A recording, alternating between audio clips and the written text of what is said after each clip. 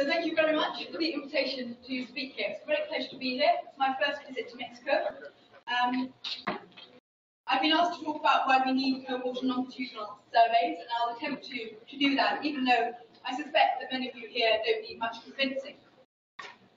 But I thought I'd just start by saying a couple of words about myself, why I think I'm here.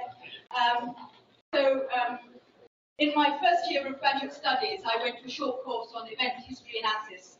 Um, and uh, from that point, I was hooked. Longitudinal studies, were, longitudinal research was what I wanted to do. Um, the only problem was that I was also very interested in ethnicity and ethnic minorities, um, and finding studies that you could study um, issues around ethnic minorities longitudinally was a bit of a challenge. So from then on, I was also became um, someone who looked for data wherever I could find it and used um, all sorts of different data. I became something of a, of a data junkie, expert, is of putting it, and that has remained. Um, so I'm very interested in the different things, the different sorts of longitudinal study can offer me, can offer to help me answer my research questions. And I'll be. I was just, yeah, I was just thinking that if uh, I tend to speak quite fast, so please wave at me if I am going to be fast. So um, my, my students also typically complain. Um, I've also become very involved in the collection of longitudinal data. Uh, so, um, as Alfonso mentioned, I'm part of the scientific leadership team for Understanding Society, which is a large UK household longitudinal study, which I'll say a little bit more about later. And we have an ethnicity strand in that, which I, I lead on to try and give up extra information about ethnicity and. I was also the principal investigator for a child cohort study, the Millennium Cohort Study, uh, which is a UK-wide study of children born around 2000, 2001 who were followed over time. It's a wonderful study, and I'll also say a little bit more about that and give some examples. And I've also been involved in data collection of some more um, ad hoc longitudinal studies uh, relating specifically to um, uh, immigration. So um, I know something of the challenges and something of the stresses in collecting longitudinal data, but also something of the pleasures of doing so. Uh, so I will try to combine some description discussion of different designs um, uh, description and discussion of brief illustrative examples of what they can actually tell us. So that's my introduction. Now to get onto the uh, onto the meat of the question: Why why do we need longitudinal studies? Well, I thought I'd just start with this quotation um, from the Economic and Social Research Council in the UK, which is the major so social science funding body and which funds all the UK cohort um, and main cohort and longitudinal studies, including Millennium Cohort Study and um, Understanding Society. And they say that longitudinal studies are uniquely suited to help us understand social change. Unlike a one-off research project which can give information about people's lives at one point, like a snapshot photo, longitudinal studies follow individuals through time, collecting data at different points, more like a photo album. I suppose if you brought it up to, more up to date, you more, more, more, might be more like a sort of continuous video streaming. They tell a story of people's lives at a moment in time, but also over time, showing how individuals were founded to change within a wider social context. And I think it's important, this point that they stress about context, individuals and households is very important. You have individuals within households, which is part of their immediate context, and then the wider social context, what's happening over time what policies are doing, how is changing around people. Then they go on to say, the development of longitudinal studies over the last decade has underpinned advances in social science methodology. The studies provide an understanding of social change, of the trajectories of individual life histories, and of the dynamic processes that underlie social economic life. So I think that says quite clearly, quite succinctly, why we need longitudinal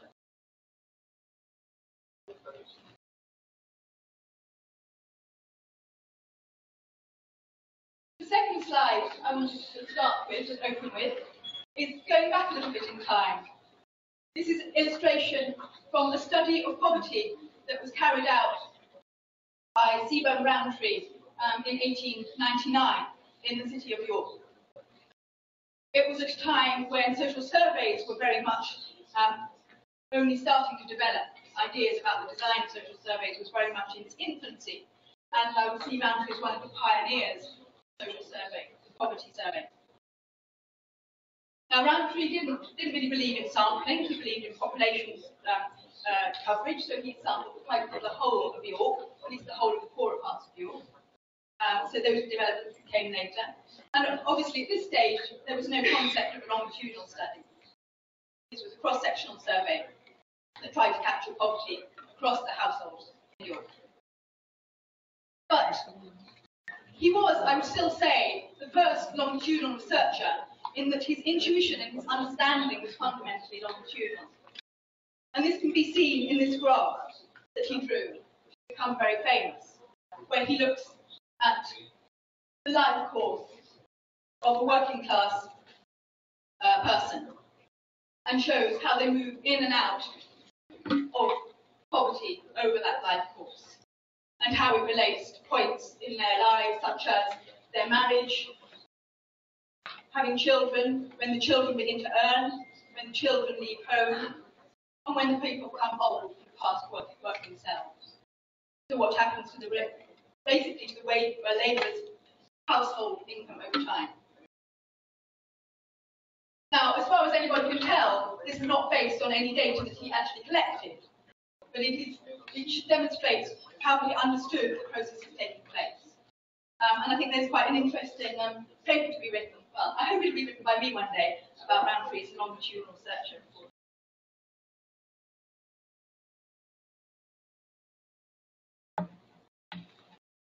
So, the of what I'm going to cover today, I'm going to say a little bit more about what longitudinal studies do. Um, and then I'm going to talk about some different types of studies um, and talk a little bit about their advantages and a little bit about their disadvantages, but stressing their advantages. And this is going to be mostly focused around examples. So this talk isn't going to be very analytical, it's purely going to be largely going to be illustrative with lots of examples. And then going to move on to the types of research questions that can be answered, because that's really why we do this. But obviously there's a stress on analytical methods um, research methods and the development of appropriate methodologies, but why we do all this is because we want to answer questions in the We want to understand the world around us um, in its different aspects. So I'm going to look a little bit at types of research questions that can be answered, and again, give a few very selected examples. And then I'm going to touch on some issues we might want to consider when thinking about designing a longitudinal study and then draw some conclusions.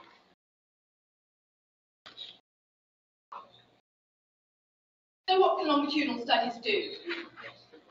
Here I'm thinking very much of Social surveys as longitudinal, so individual and household social surveys, social surveys, and contrasting them with cross-sectional surveys.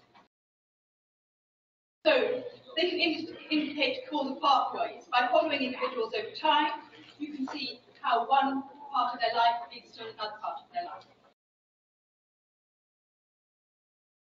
Um, you can track the different uh, different periods, as, as Rowntree aim to do, and the different consequences of different factors in their lives.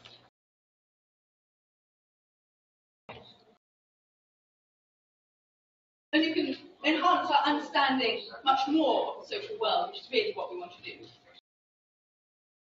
And you can do this by giving much better insight into causal processes. So you can identify things in people's lives that happened before and things that happened later. Clearly, the things that happen later can't determine the things that happen before. A very obvious, obvious point, but it's what underlies an awful lot of analysis of longitudinal surveys. So this temporal ordering. Uh, that if you are depressed, you may then suffer a mental breakdown. If you suffer a mental breakdown, you may then become depressed. If you measure this in a cross-sectional survey, you don't really know which is driving which. But over time, you can look at how these factors are related. Similarly, if you look at something like disability, where disability is often associated with low income. You might think, okay, well, disabled people, it's their disability that's causing them to be have less uh, learning capacity. But if you look over time, you can see whether it's actually those people who are less well off who are more likely to become disabled. Which leads to rather different thinking about how you might intervene, how you might support disabled people, how you might support their lives. You can use longitudinal studies to test interventions or shocks. How do people experience a recession? What happens to them before and after a recession, for example, might be one very immediate, one very obvious shock.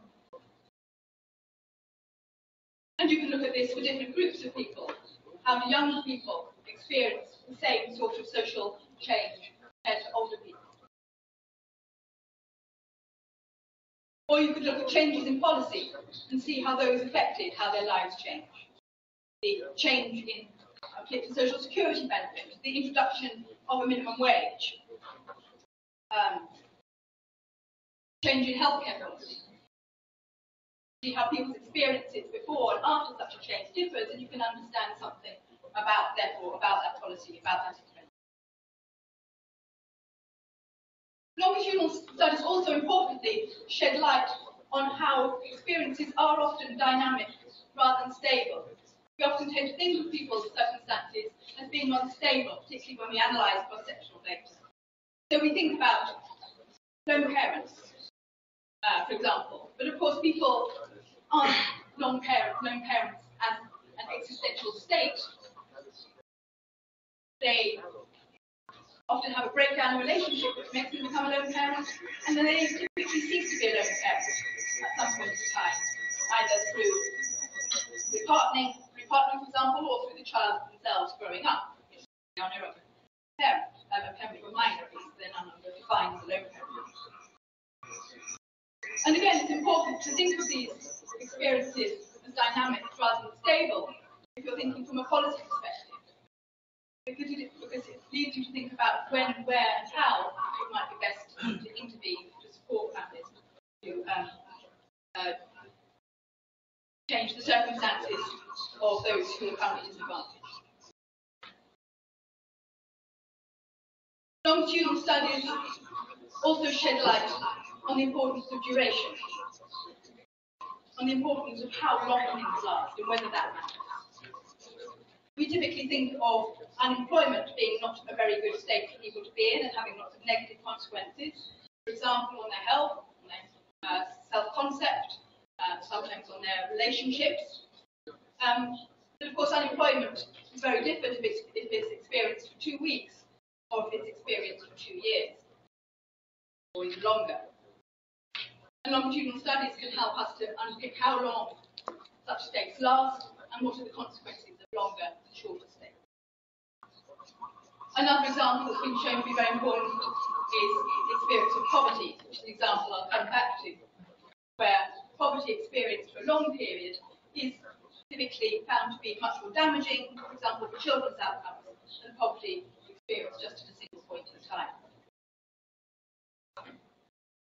And longitudinal studies can help us to analyse um, phenomena that are inherently longitudinal a very simple but, but a very um, policy, often policy development one is uh, social mobility.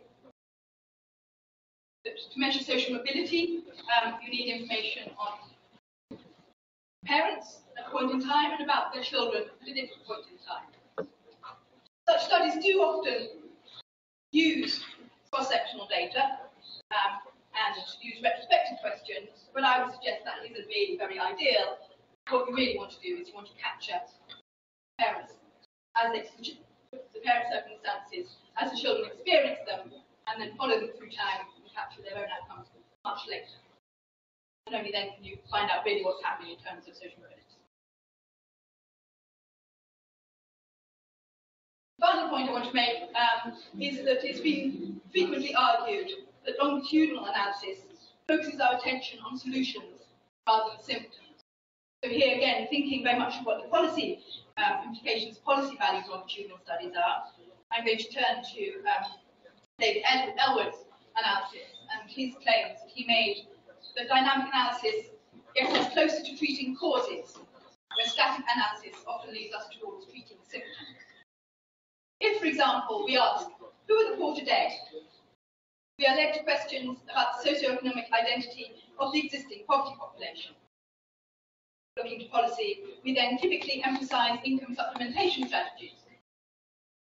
The obvious static solution to poverty is to give the poor more money. If instead we ask what leads people into poverty, we are drawn to events and structures, and our focus shifts to looking for ways to ensure that people escape. I might offer some caveats about that. I still think there might be very good reasons why uh, giving poor people more money is, is still the best solution to poverty. Um, but I think the important point that this quotation makes is that if you have a dynamic analysis, you can help look about what are the triggers to make people fall into poverty, and also the factors that might help lead them out of it. Of course, David Ellwood's analysis distinguished from demographic and labour market factors, I think in quite a helpful way. A lot of stress thinking just about, oh, it's all about getting people into work, but if actually what's driving most people's moves into and out of poverty is the changes in their family structure, whether they have another child, their marriage breaks down, uh, then that implies rather different policy implications um, for work focus.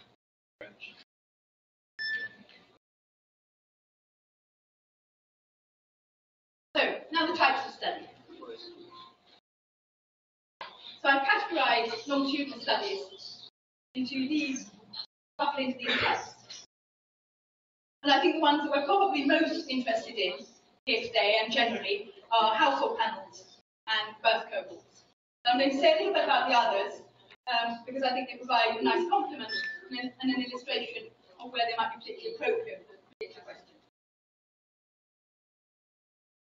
So, um, we have household panels, which take as a unit analysis all those individuals within a household at a given point in time, and then follow them and continue to interview all the people in the household, providing a rich household context as well as tracking individuals over time.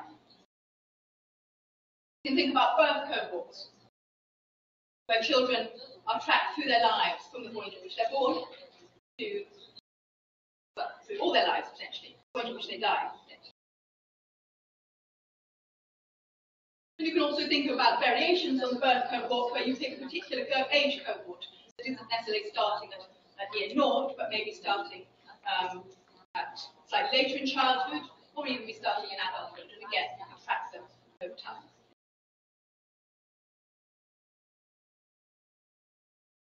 Administrative records I put here because they can provide very useful, detailed source for um, longitudinal analysis, and they were where, um, going back again to my, my original um, graduate study, where I started in my analysis, because uh, they often have large numbers, um, and this can be useful if you're looking at particular subpopulations.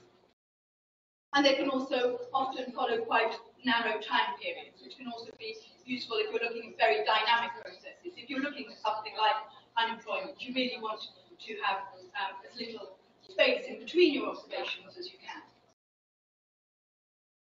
But clearly they do have uh, the disadvantages, which I'll mention as well. And then we can think, rather than sampling, okay, what about thinking about censuses? And about linking censuses over time, or, or linking a sample of people represented in national censuses over time, where you can maybe get very good coverage, even if you have perhaps less detail, less, less uh, fewer questions that you ask There are also a number of examples of short panels where people try to incorporate a longitudinal element into what is essentially a cross-sectional study and try to get a bit of value added that way. And of course, there are combined approaches where people try to link, for example, administrative records to sample surveys to enhance um, the value of the sample survey or to provide a longitudinal element would otherwise be a cross-sectional study. And there are key points of variation across these sorts of studies. Whether you're following a particular individual or whether you're paying a lot of attention to the household context is one of the differences. Whether you're interested in a specific cohort, or whether you're interested in particular ages, or whether you're interested in all ages population. how concerned you are about the particular population you want to cover. Do you want to be nationally representative and cover the whole population, or if you're using administrative data, data, for example, are you interested in particular populations, those who are the current administrative data because they're on social security benefits, or because they're on health records? And the final issue is the level of detail provided. So some of these sources provide an awful lot more information, a lot richer data than others. So let's go into some examples to try and flesh that out a bit.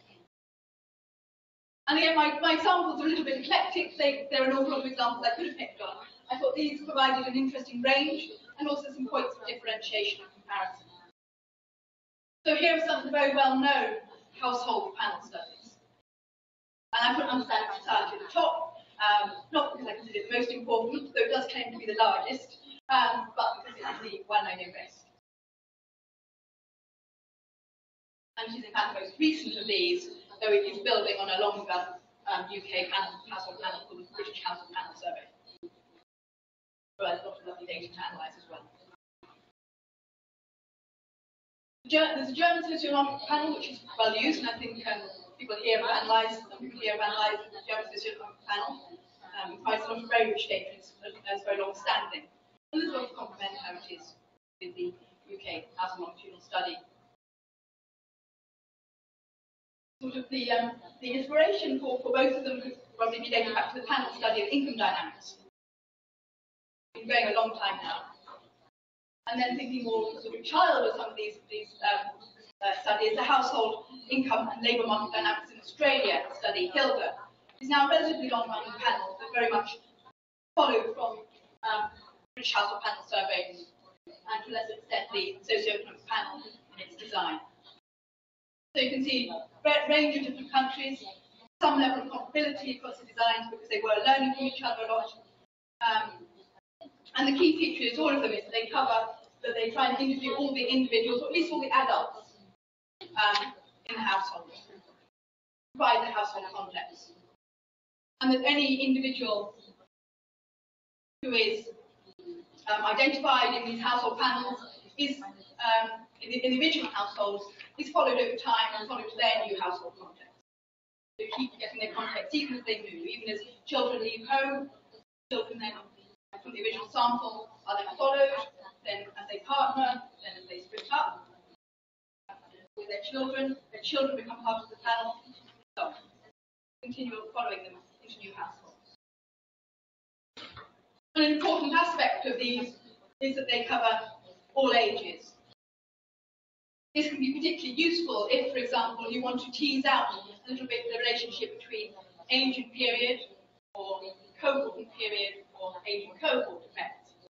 For example, going back to my example of, uh, of the recession as a, as a particular shock, you might be interested in how something that happens to, at a common point in time for people affects those who are 45 at the beginning of the recession compared to those who are 25 or those who 65 at the beginning of the session. Or conversely, you might want to see how the circumstances of those people as they reach retirement age vary for those born at different points in time, in which case the period at which they reach retirement will be different. But we'll contrast all these people reaching, say, 60, 65, see how their circumstances are different. Another potential advantage is that births and deaths, um, in principle, allow the panel to remain representative of the population. So as the children in the study grow up, they become adult members of the study, and as they have children, the, children, the sample is reflect, refreshed. And as people die, they drop out of it. There are a couple of caveats to that. Uh, one, of course, is attrition uh, which has been mentioned, I think, in the, opening, in the opening speech, that remain representative, you really want to follow up people, all, all the people in the sample, and that's quite a challenge. And the other main of course, this is apart from immigration. Of course, immigration is, is quite a big, big issue for uh, a lot of countries, and therefore samples don't necessarily remain, remain representative. So some studies have attempted to go, get around that by having refreshment boosts, in particular of immigrant populations. The, the, um, the German socioeconomic panel is a good example here. And the UK has of Longitudinal Studies does the process of implementing a new immigrant boost to try and update immigrant samples.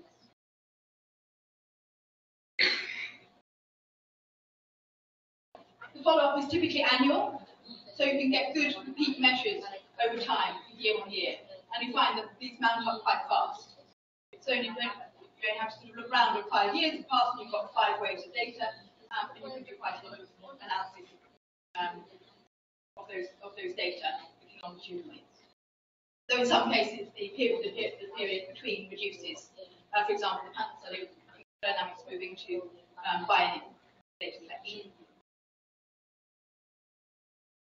And just to mention one further limitation, which I think leads into my next set of examples, is that while these cover all ages, um, they tend to have more limited information um, on children within the, uh, within the panel.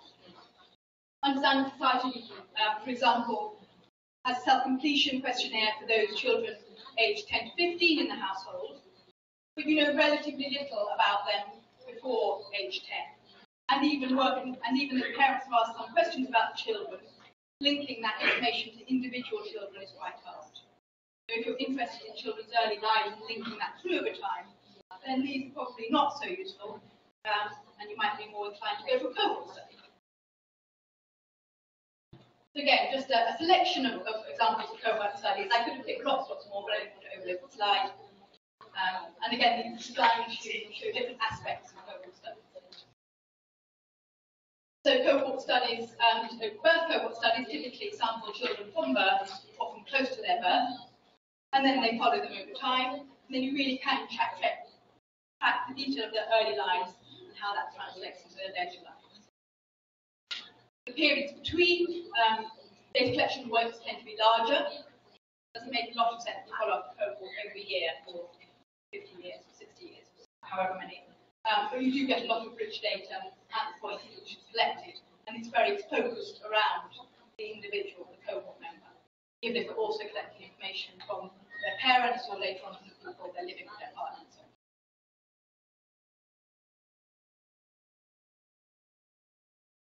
So the National Child Development Study is a, is a relatively early example, um, which is based at the Centre for Longitudinal, uh, housed at Longitudinal Studies, where many of these UK cohorts are housed, um, and you can all access the data, please.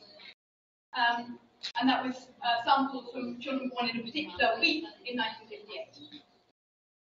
And so you now have a long time period, period following up these children. The Millennium Cohort Study, is one I'm particularly bit familiar with and particularly enthusiastic about as well, um, was a sample uh, taken from birth uh, reg sorry, health, child benefit records. Um, so it used an administrative uh, data set which covered pretty much all children in order to sample from. So rather than getting all births in a single week, you got births spread out over a year, uh, which, which is interesting for analysis for, for, for a range of reasons, planning birth issues in relation to the school year in particular. And they were first sampled when they were around nine months, so not at birth, but relatively close. Growing up in Ireland, um, very much tried to emulate the design of the Millennium Cohort study, but it has a couple of distinctive features. First, as well as having a nine-month sample, it also had a nine-year sample. So it's an example of this, this uh, sort of multiple cohort design. So you get a bit more immediate information about slightly older children, as well as getting information about the babies. So if you're interested in, in things like school, school transitions, you may want to wait 10, 11, 12 years for that to happen. But you're also interested in getting that information eventually, so you do want to start with the babies. So you have both.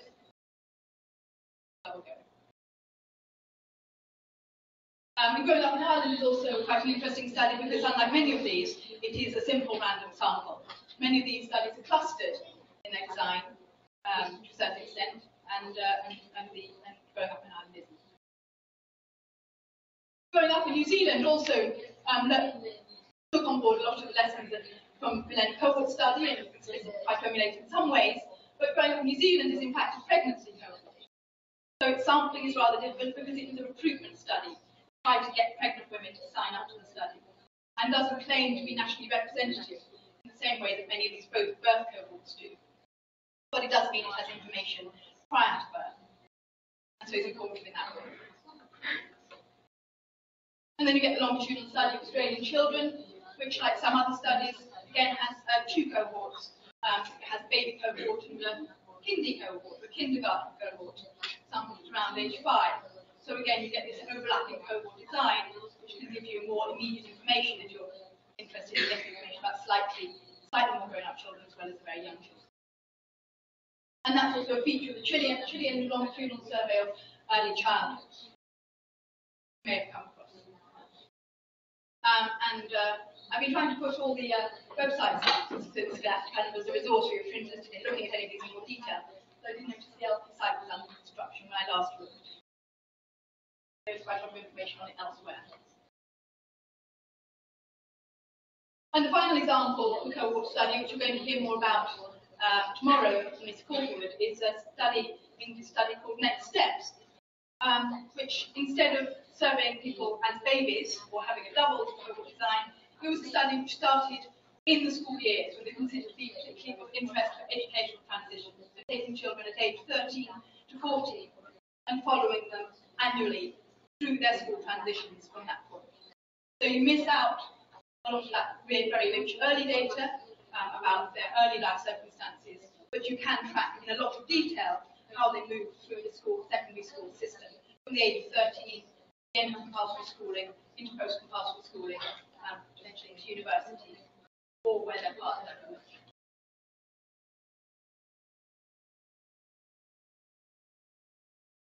Here are some of the points about how they differ that I've already mentioned. So the um, example of next steps, a sort of slightly later child cohort, leads us also into the um, area of older cohorts. And I'm not quite sure how you define these because they're not exactly age co- they're not exactly age cohorts, they're not exactly household studies, but they're sort of somewhere in between. So if you're very interested in pensions policy or retirement or pathways to retirement, then you may think that um, having a, child, a baby baby cohort is going to mean you have to wait an awfully long time before you can design your policy. Um, if you also want to know about healthy aging, again, um, you're not going to be around to study healthy aging if you're depending on a baby cohort. So instead, there are these designs which take people in later life. Um, as I say, they're age, they're sort of age specific, and they start at 50 plus, but they're not a single age cohort. So you get people of different ages above 50. So you can look at the younger compared to the older and track their experiences. And there are these three which are actually been designed to be very comparable. Um, there's the cross-national survey of health, aging and retirement in Europe. There's the English longitudinal study of aging, which is English, yes. And there's the, health and, the US Health and Retirement Study. We all collect a lot of information on issues that are relevant to people in their later life. Their health, their well-being, their, um, their transitions to retirement, their income, their wealth, and so on. And also collect direct measures, direct measures of, um, uh, of um, biomarkers and um, measures of cognitive functioning as well to answer questions about healthy I think what's interesting here is that you also have this ability within these, therefore, to do cross-national comparisons, becoming increasingly interest, interested in longitudinal studies. I think at one stage was thought it was enough just to do longitudinal analysis in one country. Now it's thought it's actually quite nice to be able to do longitudinal analysis across lots of countries and compare the policy messages. But of course, the key, um, key disadvantage is that even though you get this very rich information for their life, later lives, you don't have very good information on their early life experiences, you have to rely on retrospective data. Not necessarily bad retrospective data, but it's not the same as having it collected in real time.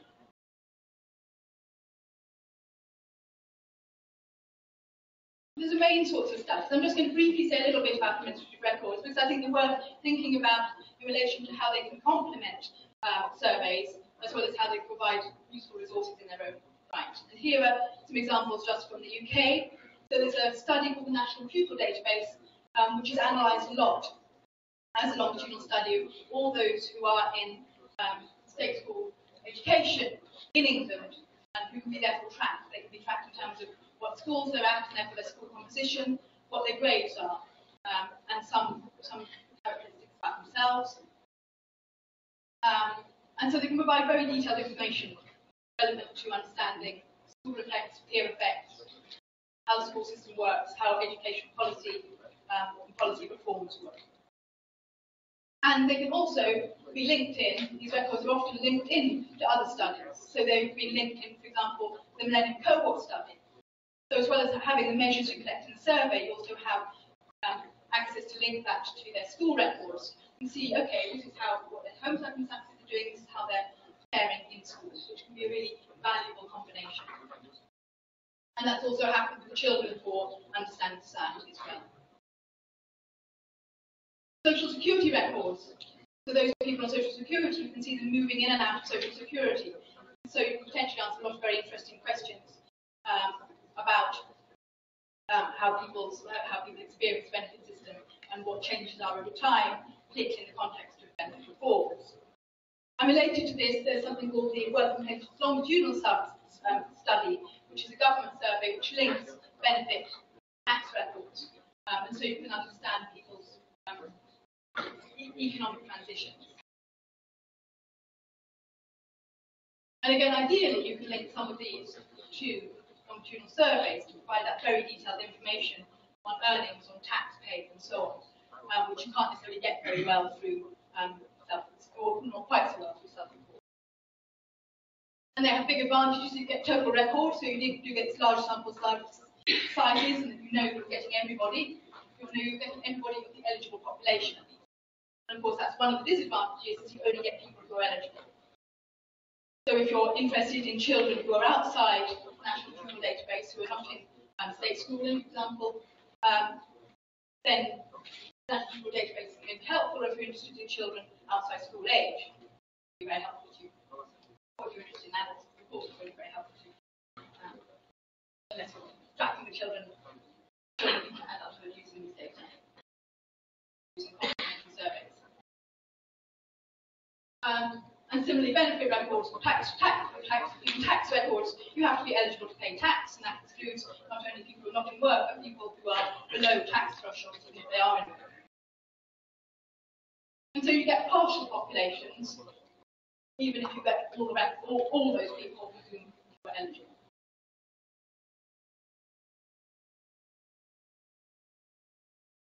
Census records um, is another uh, example quite useful, useful, can be quite useful source. I'm putting it up here because I have used a study um, that is a linked census, census records, and it is very valuable for looking at long time, long periods of time um, because you have a decennial census.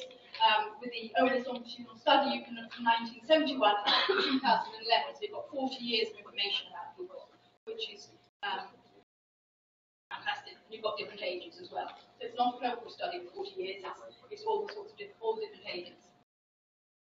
Um,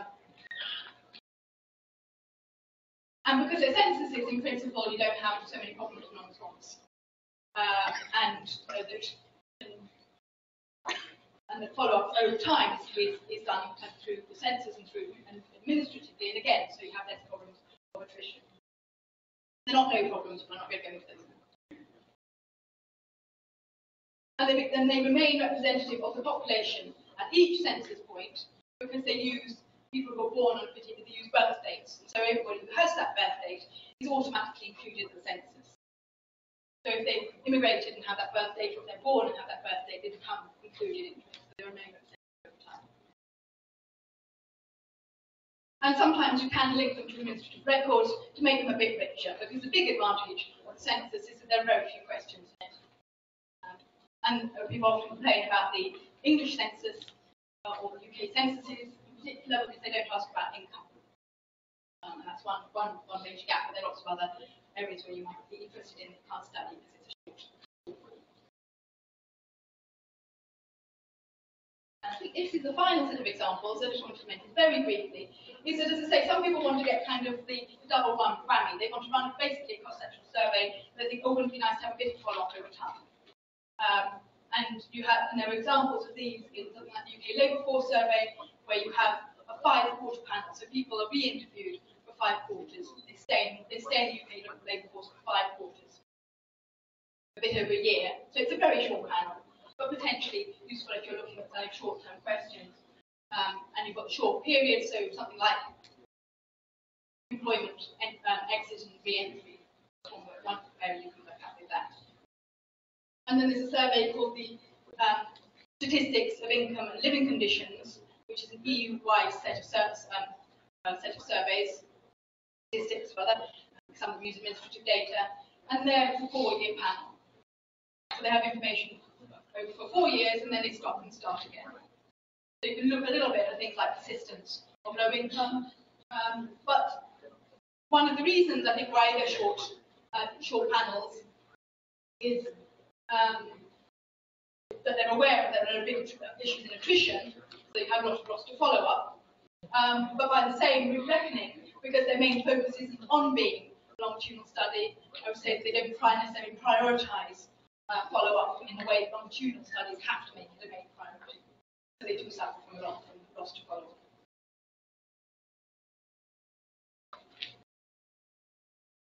And of course, a lot of these surveys are national, nationally representative. Um, they're very useful for looking at populations, and they're also useful for looking at subpopulations to a certain extent. Um, but they're not of infinite size. Um, we can talk about what might be a good size. You know, some of them are 5,000 households, um, some of them are 10,000 individuals, 20,000 individuals. If you're interested in very particular subpopulations, you're probably not going to be able to analyse and sometimes you're not even going to get them in your data at all.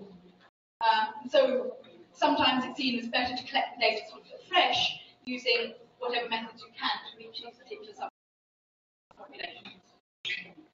Um, and here we're going to minority group studies for a particular example where it's quite hard to get good longitudinal data. Um, and this SCIP survey, which I mentioned here, was a particular challenge because we were trying to get very recently arrived immigrants um, basically therefore don't turn up in surveys at all, um, and we wanted to get enough of them to study longitudinally, follow over time, and of course if they're very recently arrived, they're very mobile, so you, you lose a lot of them over time. So we just did a short panel of two waves, but it was a cross-national study across four countries, and so it could be quite revealing. Um, but it was also, there were a lot of issues around how you actually sample in that. But I suppose the point more is that if you're very interested in particular subpopulations, you may need to kind of start somewhere else. Um, not start with the kind of thinking that you can just amplify your main longitudinal study, your birth cohort a household plan.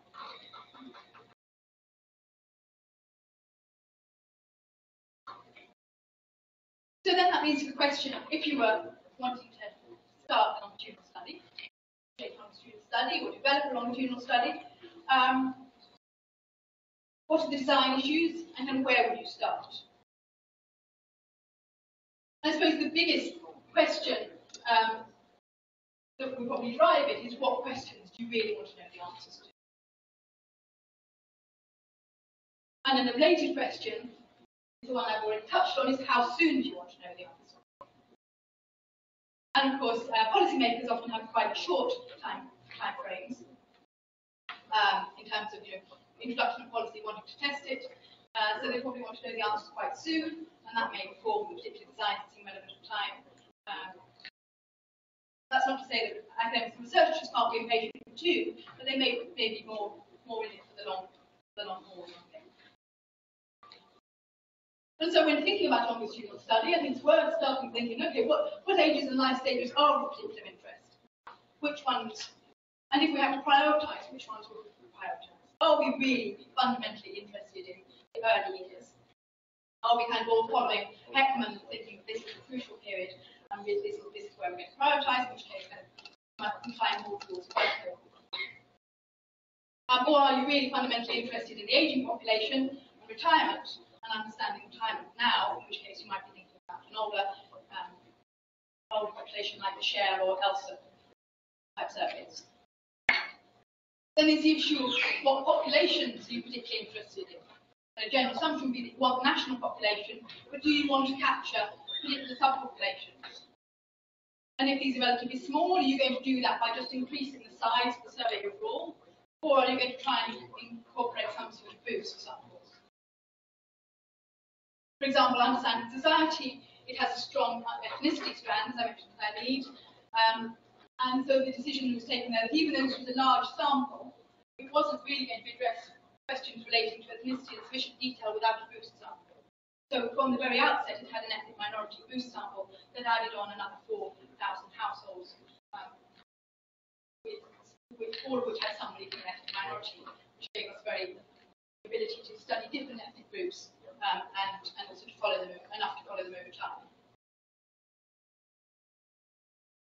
I think a crucial design issue um, to think about is the um, availability of appropriate sampling frames. So where you're going to start. If you want a nationally representative population, um, then have you got a sampling frame that will match that? Will that affect your design decisions? For example, if you're if you want, you might think that you want a pregnancy cohort, um, but recruiting in pregnancy is very, very rarely done on the basis of systematic sampling frames, whereas birth cohorts often use birth registrations or child records of some sort to sample from.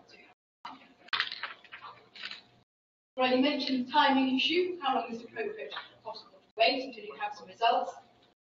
And that also relates to how, how often you do the follow-up. So there might be issues about whether you do a lot of follow-up, you do more follow-up initially and then have a, have a longer gap over time. We're often told that we exist in a period of declining response to surveys. Um, but there are differences across countries, um, but the survey context matters the levels of response is likely to, uh, uh, that you expect is likely to influence your design of starting numbers and also uh, um, thoughts about the extent to which you will be able to get response over time, which you will be able to get follow-up.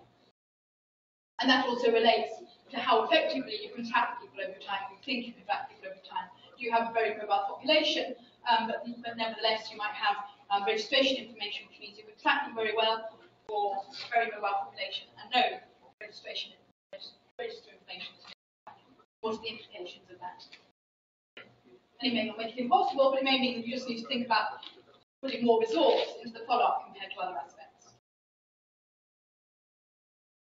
And I think it's, it's worth thinking from the outset about how much information you can link in from other sources uh, to complement or amplify your study. Um, often the linking in administrative data is sort of as a bit of an add-on, but you could think of it being something that's built in the design of study in access, you start getting consent very early. And this has happened with some studies, they collected consent very early, on LinkedIn. Or in other cases, you might have to start from a sampling frame that allows you to use that very register, same register data sampling.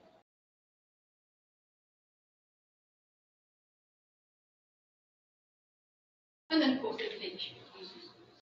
And where you put your you prioritize a very big sample size and think, well, at least if we've got a very big sample size, we have a lot of attrition, uh, then we still have some people for the next years. Or do you think, well, actually, maybe actually most of our resources, more of our resources in follow-up and have smaller sample size to start off with and really focus on keeping people in the study. And I think there would be much doubt about where people probably in this room would, would, would, would answer that question, but it is one that gets up. And of course, there's later sessions which will be covering more detail these issues of non-response and follow-up. So, I just thought you could think about this, what questions you want to know the answers to, and perhaps for the later stages of today. So, if I had whiteboard, I would like to now. I would do my lectures for this. Leave actually to write down. So we'll now move on to the types of research questions you might answer. So now this is the substantive part. You've got um, it's probably the wrong way around because I'm saying you start with the research questions and then design a survey, but now you've got some idea of the different sorts of survey design you might have. Then what are the types of research questions that you can or do answer? And I've just grouped them here, the different sorts of types of research questions. You can probably think of other examples you came up with, and some of them I'll try to illustrate. So you could think about longitudinal data telling you about individual development over time. And here, a simple example is weight. How much does their weight change over their childhood through their life, through their older, older years. Or similarly, their cognitive development. How do they develop cognitively? And what does that look like? How do you see a, a, a pattern of their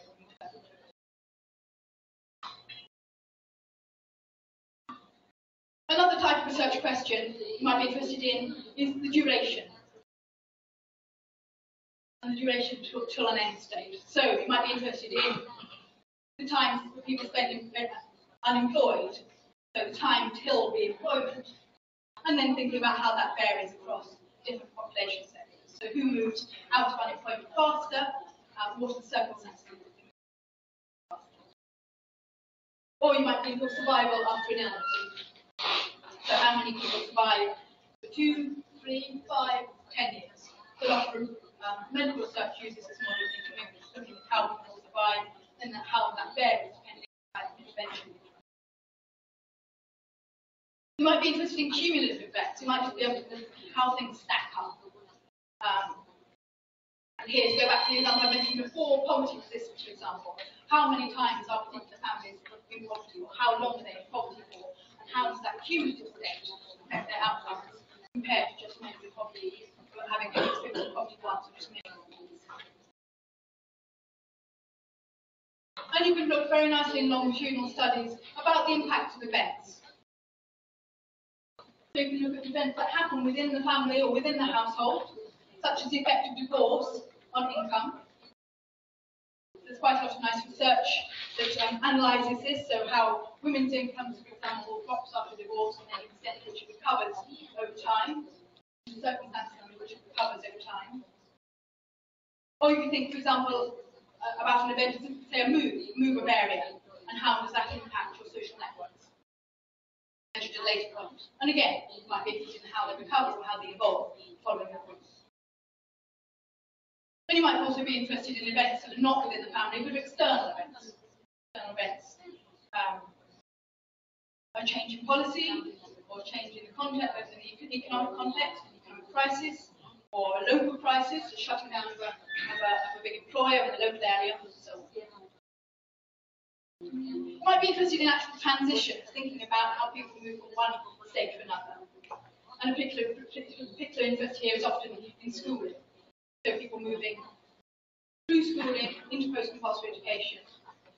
What happens? What happens? Who moves into post-compulsory education? Who doesn't? Who moves to university? Who doesn't? Who moves to tertiary education? Who doesn't? who then moves into labor, good labour market jobs and who doesn't. And then, of course, coming back to this methodological issue, there's the um, research question, the, the, the, idea that unlike cross-sectional data, longitudinal data can help you really to get the causal handle some associations. They can turn those associations into causal relationships by, uh, for example, controlling individual fixed events, looking at change over time.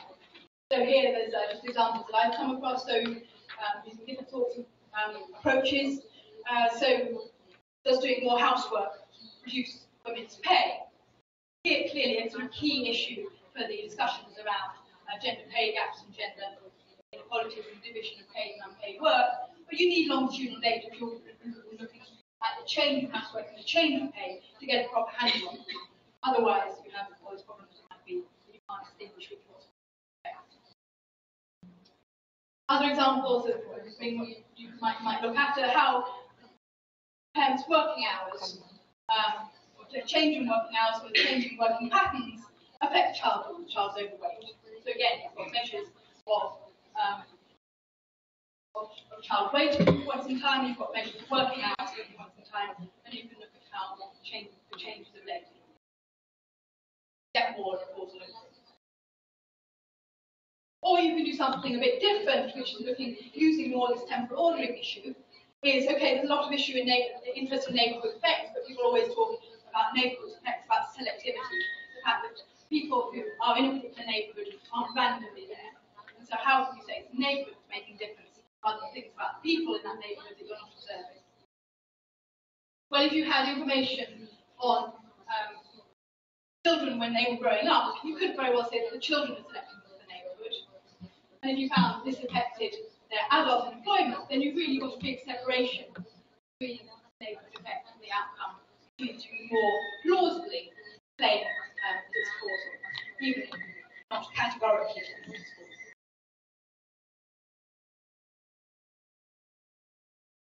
So we, all these are sorts of, sorts of research questions, and I think really of interest for research purposes, nothing of interest for policy, um, interest for the um, relationship between policy and research. And so I'm just going to go on to show some examples. I'm not sure when I'm going to stop. Am I to stop? I know the stop goes on to 11, but I'm assuming some time for questions. Myself. That doesn't often happen.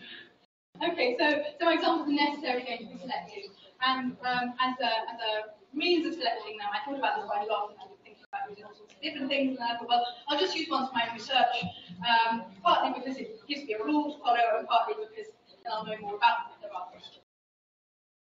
Um, but that means, of course, that it doesn't represent a full range of the sorts of questions that are of interest to you or that you could address. Um, and I'm particularly interested in um, ethnicity and ethnic differences, as I've already mentioned, but I'm also particularly interested in child welfare and child poverty. So the example will veer towards these areas. Um, but I would say that um, uh, just because I'm interested in children and child welfare and child poverty doesn't necessarily mean that I prioritise birth cohorts over of analysis. And I've carried out analysis of um, child outcomes using household panel data um, as well as cohort studies. So I just hope this gives you a flavour of some of the sorts of things that might be might might be of interest, might be possible to do, and that we can maybe discuss more how this relates to design issues. So this is an example of that sort of development over time type research question. And the question that we were asking was, are there differences in the development of behavioural problems in the early years between disabled and non-disabled children? So in general, we think that the young children have tended to show quite quite a lot of bad behaviours, behavioural problems, um, but these tend to decline over time as they enter the school and as, as they grow out of the terrible twos. Um, and we were interested in whether this was the same story for disabled children as it was for non-disabled children. For this, we used the Millennium Cohort Study. Um, looking at, looking at the UK, in fact we focus specifically on England in the study. And here we were using repeat measures of behavioural, behavioural problems. These measures of behavioural problems were measured at ages 3, 5 and 7 from parent, parent report rather than direct observation. Um, and so we used growth curve analysis to look at development and then see, okay, accounting for individual differences, intra-individual differences, were there differences um, between disabled and non-disabled children. And in very brief, we found that non-disabled children's behaviour tends to improve over time, but disabled children's behaviour tends to plateau or deteriorate. And we looked at different domains of behaviour, and even different measures, lots of different disability as well. But here's just one example. So this is an example of peer problems, it's one domain of behavioural problems. And you can see that non-disabled children, which is the bottom line, um, as they as they get older, as they reach sort of school entry age, um, their behaviour tends to, and their behavioural problems tend to decline, so their behaviour tends to improve. Um, but you can see that it's quite different for disabled children. It's also quite different between boys and girls, so you get quite a distinct difference between disabled boys stable girls, but in both cases, you don't see this nice decline. In fact, you see, really, really a much higher level that tends to be relatively flat. So that leads to thinking about, okay, so if, if disabled children start off before school with higher behavioural problems, then school really doesn't, doesn't seem to be helping them. Once they enter school, things aren't getting better. So what, what might the implications? What might the implications of how schools deal and these were of all other sorts of factors that we thought might be related to both behavioural problems and disability. Um, and this is only That's one. Child poverty dynamics is an area that's been a lot studied with longitudinal data. There's interest in how poverty duration or child poverty persistence varies across children, how it varies over childhood as well. And here I am going to draw a little bit on unlegal research. So there's this question about the extent to which poverty touches children's lives at all, and the extent to which it's persistent over periods. So if you measure child poverty at any point in time, you'll get one number, but a lot more children are touched by poverty at some point. Longitudinal data show you that. And then a small minority of those children will be touched by poverty but will be important for a long period. And that's likely to have much severe consequences. And you can think of this as an interesting question in itself. Okay, let's analyse, let's look at poverty persistence and as an outcome. What's related, what factors related to poverty persistence. But you can also look at it as a predictor. Okay, so then what, how does poverty persistence affect other aspects of children's lives, like their cognitive development, their behaviour, and so on. And this is an illustration from other people's work. Um, uh, Bradbury and others. Um, I think it's just quite a nice illustration because it shows how, if, as you plot over time, you find that there's increasing numbers of children who are counted as poor. That's the top top part of the panel. So you get really quite large numbers of children who are who are ever poor if you follow if you follow children up for a number of years. And conversely, if you look how many of those children who are poor stay poor consistently, you get a decreasing number of children. But you don't get you don't get no children, so you might be very this these, this might be very concerned which children are, still poor after four, five, or even ten years. This is looking at the question um, slightly more, perhaps more simply. This is using a Millennium cohort study. Um, and this is just counting across the five sweeps of the Millennium cohort study how many children were never poor and how many were poor once, twice, three times, four times, or the maximum of five times. And you can see that fewer than half were never touched by poverty. So poverty isn't something that is just a characteristic of a particular minority of children, something that children, a lot of children, the, the slight majority of children experience some. But you get, but then you get this very small group of children who are consistently poor across their early childhood.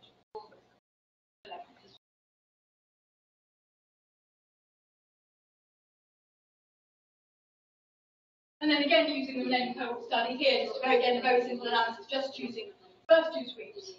Um, you can look at transitions and controlling for other factors, looking at the transitions across ethnic groups. So you can see what are the probabilities of exiting poverty and how does that vary for ethnic groups. Controlling for other factors and how does it vary for family type. But I think what stands out here is the lower rates of exiting poverty in some minority groups, even when you control for all that stuff. And then you can look at populations of entry. Similarly, those same groups that looked like they were at lower, uh, that had lower chances of exiting poverty, also have higher rates of entry. So they're getting it from both directions, which doesn't, which doesn't necessarily have to happen because you can imagine that poverty is driven either by um, lower exits or by higher entries, or as in this case, it can be by both. And that means, of course, that when you look at persistence, you have much higher rates of poverty persistence among those who have both lower exit and higher entry. That's what's explained. And then if you go further and look at what the triggers are, in sort of Bane and Ellwood style, um, whether these are demographic factors or work factors driving these exits, how much they vary across every.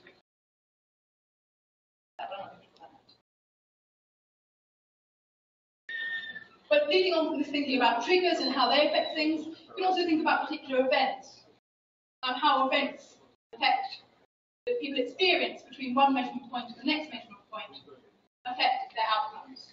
And here again, looking, here looking at labour force outcomes, and again looking across different ethnic groups. So this is looking at entries into labour force participation and exits from, it.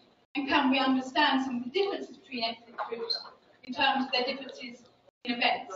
Are some more likely to experience partnership or end of a partnership or an increase or a decrease in household income a child entering, um, entering the household, a child being born effectively, or a child reaching school age. And we find these events can explain a little bit of the differences, but really some, some differences nevertheless remain. So we have differences in transitions. Again, this point that actually a, a, a, a difference in, at a stating point of time may be, may be driven by higher entries or lower exits, or both. And we have some differences. The African women had, had higher entry rates into the labour force. The Pakistani Bangladeshi women had lower entry rates. And Pakistani Bangladeshi women also had higher exit rates. So even those who were in the labour market were more likely to exit. And I think this is quite important because we often think about Pakistani Bangladeshi women labour force participation being very low, but also thinking of it in a very static way. And I think it'd be very interesting to know more about these women who are in the labour force. So they're not ones who've just opted out, they've gone to the labour force, and nevertheless they're exiting higher. And this is just a simple sort of issue that we were trying to explain. So you've got the differences in participation, these very low participation rates of Pakistani Bangladeshi women that are often talked about, but are seen as the same very static model. And then you can see here how Pakistani Bangladeshi women both have lower entry rates and higher, higher exit rates.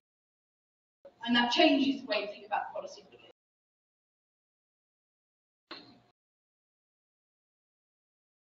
There are various points, there's been a discussion of the methodological issues and methodological advantages of longitudinal studies. But on the other side, I'd like to say that a lot of um, analysis of longitudinal studies is very simple, is very straightforward, and is basically cross-sectional in analytical approach, and is simply driven by the fact that we have this temporal ordering. You see this in a lot of research that claims to be longitudinal, but actually analysis methods are fundamentally cross-sectional, but they're using the data to say, okay, well this happened before and this happened afterwards, and therefore we're, we're positing that the pattern of association is in this direction, which you can't, you can't do so convincingly with cross-sectional data. Still can't claim that it's causal rather than associational, but you can say it's more plausibly that it was causal. And so I thought I would give an example um, of, of, that sort of analysis, because I think it's important that we don't need to do things that are very complicated to capitalize on to make most of these studies. And with something like the Millennium Cohort study, I would say probably 70 to 80% of the analysis that takes place in this. I'm making this number up, by the way, but I would say I, I would estimate it's that that proportion of the analysis of the Millennium Cohort study is using this quite simple approach um, rather than doing um, fancy uh, methods that um, are quantitative engaging. Um, so I'm not, that's not very, very clear. Uh, so what we did was we were looking, in this study, we were just looking at a range of educational and cognitive outcomes at age seven, and when we were looking at family factors that might be associated with And all we did was measure the family factors before age seven. So at age five, mostly some of them at age three, or some of them when the child was born, like the child's birth weight, when the child was born. Um, and then saying, okay, what, what family factors um, measured before age seven are associated with differences in cognitive and educational outcomes at age seven. And we found that a lot of factors associated with them, we found consistently that even when you're controlling loads of other stuff, um, poverty was um, associated with poorer educational and cognitive outcomes on average. Um, and that we, that the people who commissioned this research really wanted us to kind of explain this. They wanted to explain why other things, but we couldn't. poverty. And that's consistent with a lot of other research, which in particular found persistent poverty impacts cognitive um, and education outcomes, even when you're controlling for differences in parenting, differences in family education, differences in all sorts of household so it leaves this puzzle to explain what is it about poverty which affects child outcomes. But also we highlighted, and I think it's important to remember in some of this poverty analysis, that there was still huge variation across children.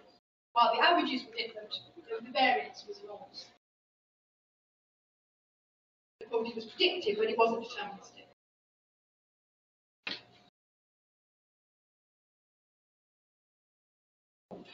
This is turning to a longer term, longer period um, uh, example. And I think there's a lot of interest in social mobility, so I thought I would just show this example um, and also because it uses a long time period. So this is using this linked survey data that I mentioned. Um, and I've done done uh, sort of repeated times. Every time a new census comes in, kind of updated. Um, so we so look at what the child's experience, household experience is in 71, 81, or 91. So the child is unit, child member of the study the unit of analysis. And so you can measure their parents' situation directly. You don't require a retrospective recall. And then you can say, okay, what's a child doing what their labour market outcomes later in 2001 or 2011. Um, so you're not using the um, recall, which I think is particularly important when you're looking at cross-ethnic groups, uh, because they might be recalling something which is in a country of origin, country of origin rather than a country or destination, which we want.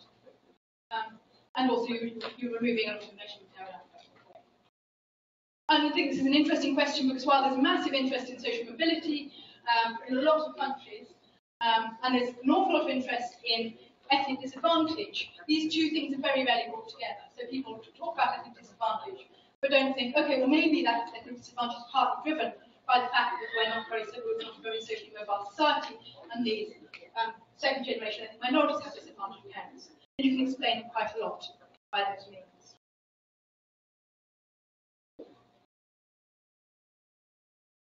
This is just a very simple illustration which shows um, origins by destination. Uh, so um, you can see that in the early period among the parents, working class, working class, which is the third column, was the dominant occupation of parents. Um, and by the later period, it was the more professional or service class um, occupations that were dominant occupations of children. But the extent to which the working class origins or the service class origins translated into more advantaged destinations varied um, very both within group and across group. So you have persistence in um, persistence in advantage across generations, but you also have differences in the ability of some minority groups to convert advantage into more advantaged outcomes for the second generation. And again, in terms of how we think about social how we think about increasing it, I think this gives us a really quite nice handle thinking, okay, well, it's, it's not necessarily, why does it work for some ethnic groups and why doesn't it? it gives us it gives us more edge on how, how we think about what we might be causing it. It's not just that it's advantage occupation and position, but then it should work equally for all groups. There must be something else going on. It must be the ways they can use that position. For example, through social networks. So it's like step towards opening up this sort of black box. We talk about social mobility a lot, but very private, but often don't say really what we think the mechanism is. And of course, once expected mechanisms what are of interest. And then just my final example, I just thought I'd sort of start, I'd end where I started with an example, and this does come from my PhD research, um, when, as I said, there wasn't lots of lovely longitudinal data available to me, so I used administrative data. I used housing benefit data, which is um, benefit received by people on a low income, but they can be in work or out of work. And again, I was interested in differences across ethnic groups, um, and so I was looking at survival time, survival using discrete time survival analysis. Um, so time to exit the benefit data, but also time to re-entry. Um, and there were clear differences in entries and exits by family structure, but also by And I'll just show the family structure because they're slightly clearer. So you can plot um, for different family structures, lone parents or couple parents, um, how fast they exit benefit data and how fast they re-enter. Oh, right, yeah, good. Okay. So these are, this is for you. This is for the questions and answers slides. I didn't realize I had them in slides for longer than I Probably because I'm speaking more slowly than I usually do. So I think there are a number of issues we've got to think about. We've got to think about timeliness of data, we've got to think about spacing between observations, we've got to think about cross-national comparability, we've got to think about coverage of soft populations, and think about maintaining relevance and continuity. I've talked about, think a bit about all the first four, things in, in terms of issues of longitudinal data, what what, what are challenges to it? I put about advantages, these are the challenges to it, but I think there's also this further challenge of maintaining relevance and continuity. So we start with a group who we're interested in, we start with a population we're interested in, we ask them questions of interest at the time, do those questions stay of interest? Because we want to keep asking them the same questions, but for, for longitudinal analysis and continuity, but people may not no longer be interested in these questions. How do we deal with that? And in conclusion, this is all the reasons why longitudinal studies I think you'll have the slides, you can have those. And I just wanted to end also, if longitudinal analysis is one of my, my it was my second love, I'll go back to my first love, which was Anglo-Saxon mm. literature, um, to end with this quotation from uh, the Bede, Venerable Bede, who wrote a history of the Church of England when he was sitting in a monastery in Northumbria in the north of England in 731. And this is perhaps one of the most famous passages where he talks about, um, there's a discussion about Christianity going on in a hall. He talks about, uh, one person says, the present life of man upon earth seems to me, in comparison with that time which is unknown to us, like to the swift flight of the sparrow over the house, where when you sit at supper in winter with your ealdormen and thanes while the fire blazes in the midst and the hall is formed, where the wintry storms of rain or snow are raging abroad. The sparrow, flying in at one door and immediately out at another, whilst he's within, is safe from the wintry tempest. After a short space of fair weather, he immediately vanishes out of your sight, passing from winter into winter again. So this life of man appears for a little while, but of what is to follow or what went before, we know nothing at all. Now maybe it's ambitious to think that a longitudinal study can follow people from before their birth into the afterlife. Um, it may be ambitious, but maybe not, maybe not impossible. An ambition to end on.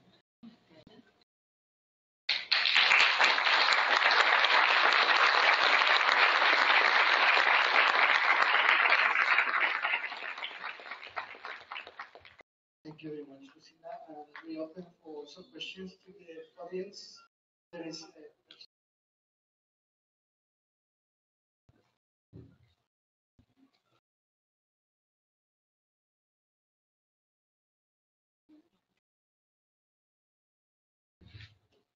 Hi, uh, Martin Lajous, National Institute of Public Health. Um, very interesting talk. I, I was wondering, many of the examples you provided uh, were weighted towards studies that are represented, are nationally represented. However, at least in health, uh, the most um, influential, long-standing studies, for instance, like the Nurses' Health Study, which is followed 100 individuals since 100,000 individuals since 1976 really is not a representative a set of, uh, of the U.S. population. Should we should we be worrying worrying more? Should we worry less? I mean, for long standard for long-term studies, should we worry less about the representatives uh, representativeness of the population, or about populations that we can effectively follow over uh, a long period of time? Well, I think that's, uh, I mean, it's, it's, a very, it's a very kind of fundamental question. I, mean, I think the ambition often is to, um, to really start with a representative population.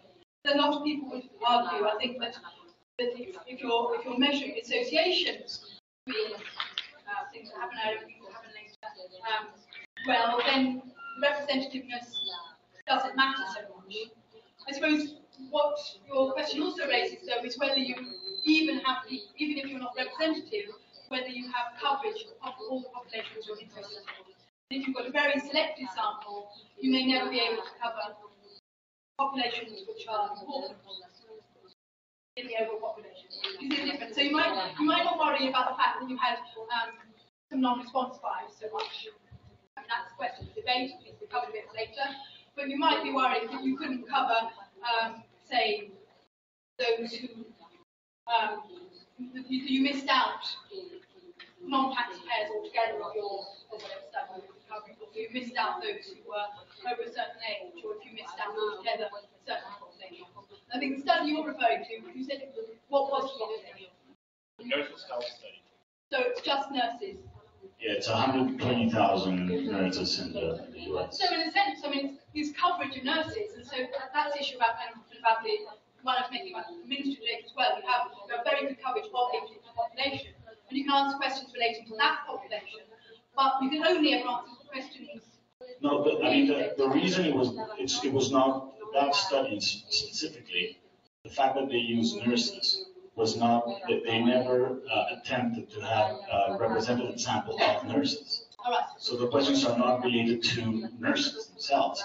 These are medical questions. So questions about relationships, and lifestyle, and medical outcomes.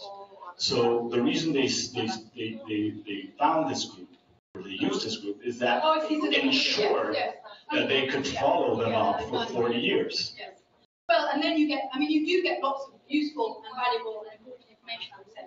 But it's a vex, it will always be a vexed question, and it will be one that people continually have to defend, is to whether you can, you can fully generalize from these findings. And I think there are some studies in the UK as well, doing this, there was a study of civil servants, which again, wasn't so much interested in it being civil servants, it's interested in, again, health questions, so stress related. And you can say those are very important questions, and give us a lot of insight um, but they're often hedged around by caveats of what will supply to everyone.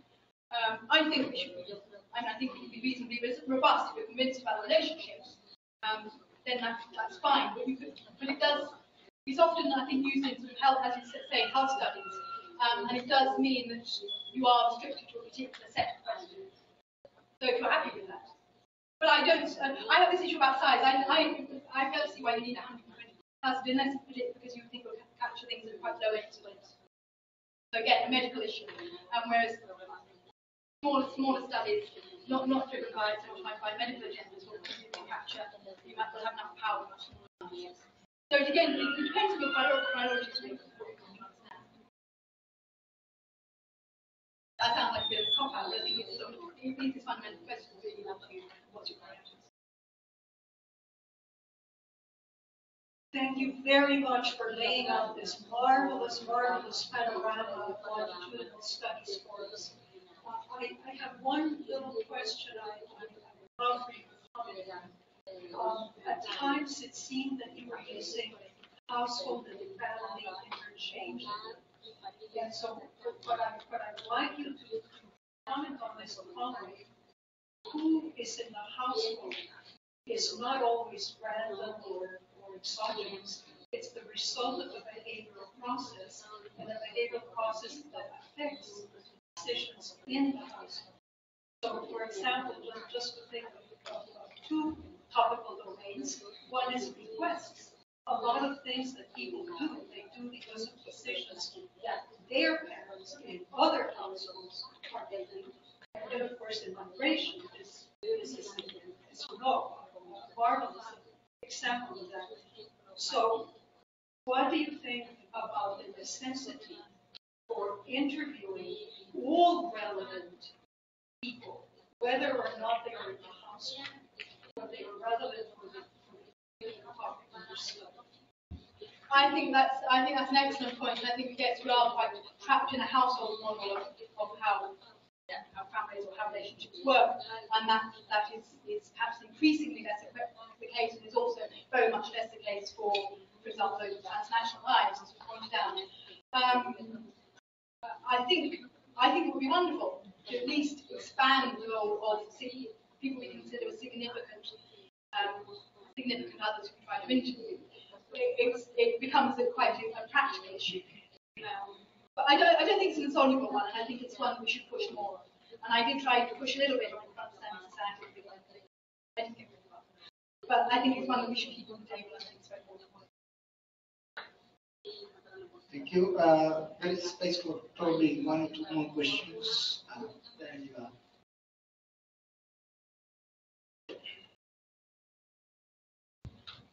Um, thank you, Lucinda. Uh, this is Cristina Gutierrez from the Mexican Ministry of Health. Um, obviously, the, the question that I would like to ask you, uh, considering that you are coming from the EU area, is um, can you um, share with us any experience on how any of the results from the examples that you presented was taken into account for uh, policy making decisions, either in the UK, EU, or any other context, the, regional, for example, England or uh, Scotland. That, that would be that would be a, a, an interesting issue uh, for linking um, all this issue of, of the technicalities of the, the studies uh, that we are going to be uh, discussing in the next two days? No, I think that, that, that, that's a very good question. I, I haven't for the answers, but I can think of some, some examples. I would also start with the caveat as well. The policy is very mobile, so you start off thinking you're going to make it and then a new administration comes in.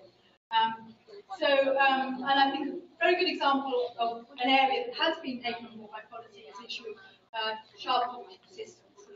Um, they started including in the uh, child poverty measures in the UK a measure of poverty persistence as well as point in time. They monitored this.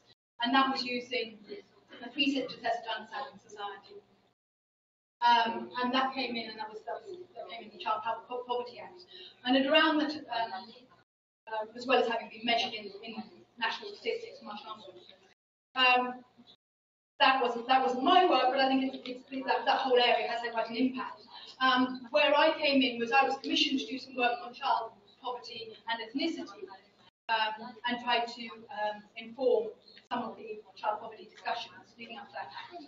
And there was a lot of interest, and then it kind of dissipated. And so ethnicity was actually never mentioned in the Child Poverty Act or in the white paper, even though there was some discussion in the previous So, um, so you get hopeful and then things disappear. Areas where there has been um, direct, uh, other areas where there's been Oh yes, and also the current current government in the UK is now getting rid of the um, child poverty, measures.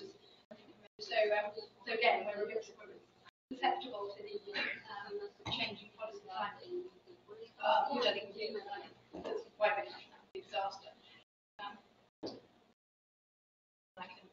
Um, um, other areas, um, well, the the um, the again, it's not a particularly positive example, but I think the, the example from the report that I showed you about the age 7 outcomes, this was commissioned by the Department for Education. And they were very interested in knowing what affects children's age 7 problems with education outcomes. The only problem was that when we told them, we came up with the wrong answer uh, for them. Uh, again, this was when there was this very great enthusiasm of saying it wasn't poverty that mattered, And our results kept coming up with poverty. We were sent away to reanalyze and do different sorts of analysis and back and. We did it all, but we got all because they were assistants um, And so what had been seen to be something which had been directly commissioned and therefore should influence policy, again, because it didn't fit the, the particular policy discourse, didn't work. so Um, I think areas that maybe have where, where, where there has been a little bit more recognition and influence, possibly on social mobility work. Social mobility has this wide um, cross-party support in the UK, even though many politicians don't really know what they mean by social mobility, they all endorse it. It's all of it. And the and the work um, looking at social mobility and looking at ethnic difference in social mobility did quite a lot of policy discourse and policy papers, has been very widely cited, um, and, and, the politicians did seem to take it on board. I actually, you know, I was invited to go and speak to them directly, and, and cross-party. So I would say that was one that was more successful. Just took it. I think you just have to keep trying because I think it does, it is better for policy, and it's just you have to work a little bit with the, the constraints of any particular administration. Okay, thank you very much. Um, I'm going to stop there because we have to just right on track. Thank you very much, uh, Lucinda. You did a fantastic work. Um, I'm, I'm, here for the whole two days, so if I, did you want to ask me questions? I, am sorry for going over time. Thank you, thank you, Lucinda.